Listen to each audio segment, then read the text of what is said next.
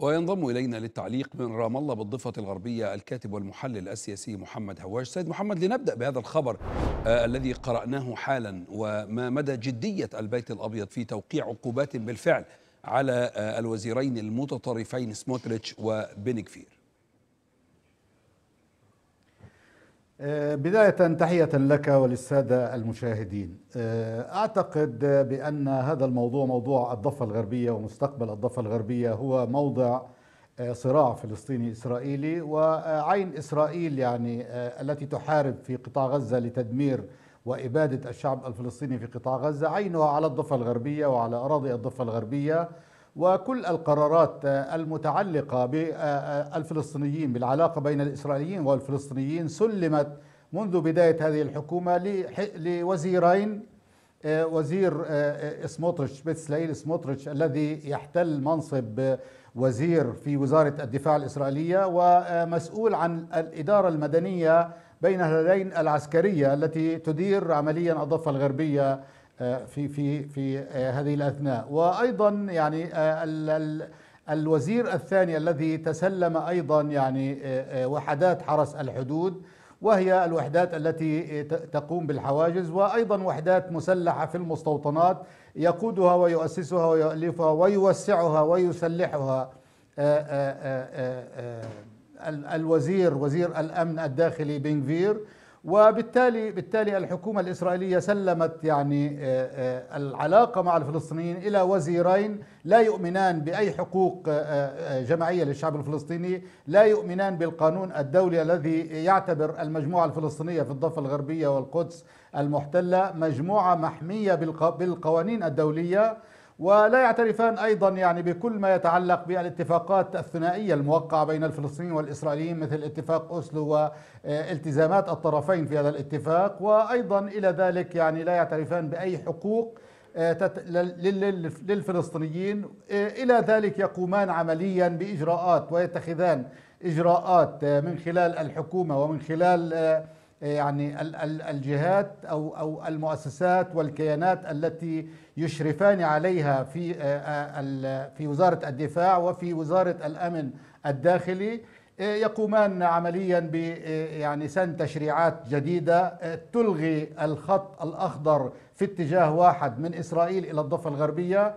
وأيضا تحاول نزع علاقة الفلسطينيين بأرضهم ونزع ملكية الفلسطينيين. هذا هذان الأمران خطران جدا ويريدان تطبيق القانون المدني الإسرائيلي. هذا يعني بإلغاء كل ما تم الاتفاق عليه وكل التفاهمات الدولية المتعلقة بمستقبل الضفة الغربية. ولذلك هناك خطر يعني داهم في هذا الموضوع. و يعني المجتمع الدولي بدأ يدرك تماما بأن كل يعني الادعاءات الغربية ادعاءات الولايات المتحدة بتأييدها حل الدولتين بدأت تظهر كأنها يعني مجرد غبار ومجرد ضباب لتغطية الأفعال الإسرائيلية العملية على الأرض من جهة وأيضا الاتحاد الأوروبي الذي يؤمن بعمق بحل الدولتين وأن حل الدولتين هو الوحيد يعني الذي يوفر الأمن للإسرائيليين كما يوفر الأمن للفلسطينيين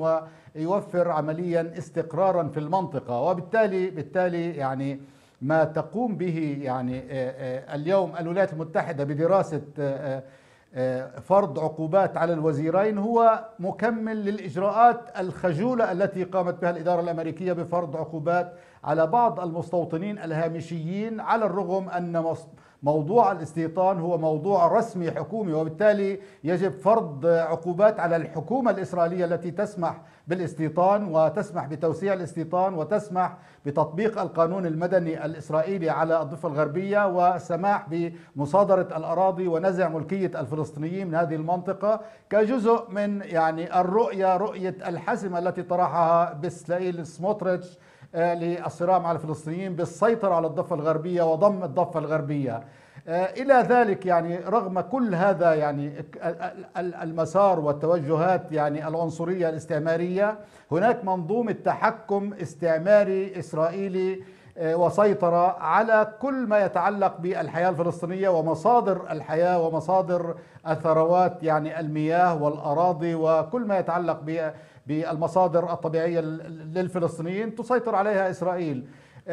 فبهذا المعنى هناك محاولة ل يعني تصفية القضية الفلسطينية من وجهة نظر الإسرائيليين ومن وجهة نظر المتطرفين الإسرائيليين أكثر. وعلى رأس هؤلاء المتطرفين ليس سموتريتش وبنغفير بل بنيامين نتنياهو هو المتطرف يعني الأشد تطرفا والأشد خطرا في هذه السياسة وهو الذي يقود هذه السياسة، هذا من جانب، من جانب آخر أيضا هذه السياسات الاستعمارية والاستيطانية. اليوم صدرت دراسة في الصحافة الإسرائيلية حول الاستيطان، الاستيطان حتى الآن هو استثمار خاسر من وجهة نظر الإسرائيليين الذين ينظرون إلى الأمر في المستقبلي وبأن بأن ميزان الاستيطان خلال السنتين الماضيتين هو في يعني سلبي من وجهة نظر الإسرائيليين أي الذين جاءوا إلى الضفة الغربية من إسرائيل أو من خارج أو من من يعني مهاجرين جدد أقل بكثير من الذين هاجروا المستوطنات خلال السنتين الماضيتين بمعنى أن هناك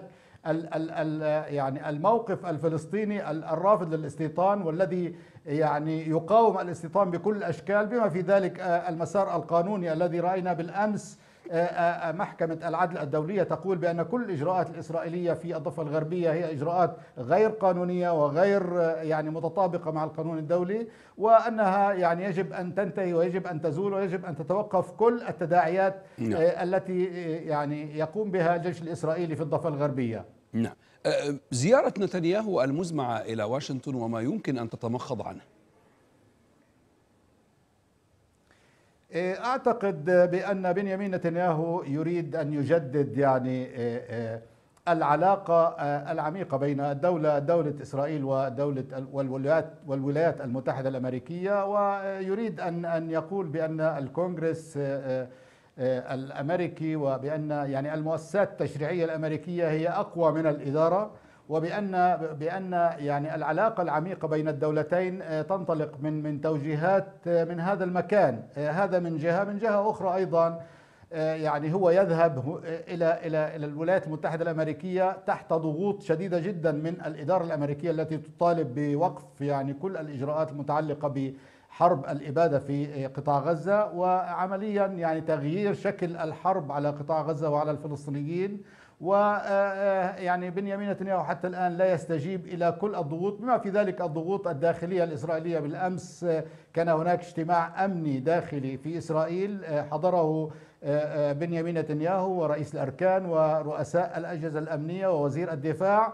وقالوا لبنيامين نتنياهو بأن الجيش والمؤسسة الأمنية بالكامل كل المؤسسة الأمنية تؤيد إبرام الصفقة الآن نعم. وعندما استمع إلى إلى تقدير من من رئيس الأركان هيرتسي هيليفي فورا ألغى الاجتماع وقال بأنه تعب وبأنه لا وقت لديه لمناقشة هذه الأفكار وبأنه يعني إذا أراد أن يستجيب للمؤسسة الأمنية الإسرائيلية فيريد أن يأخذ مقابلا من الإدارة الأمريكية ولذلك ربما أعتقد بأنه ربما يقدم هذه الورقة للإدارة الأمريكية وللكونغرس الأمريكي من هناك يوافق على يعني إتمام الصفقة ويعني ترتيبات الصفقة على الرغم أن ما زالت التفاصيل يعني المتعلقة بهذه الصفقة معقدة وبأن ربما يعني لا لا لا لا يتمكن يعني بنيامين نتنياهو من الموافقة على التفاصيل المتعلقة بوقف هذه الحرب وعمليا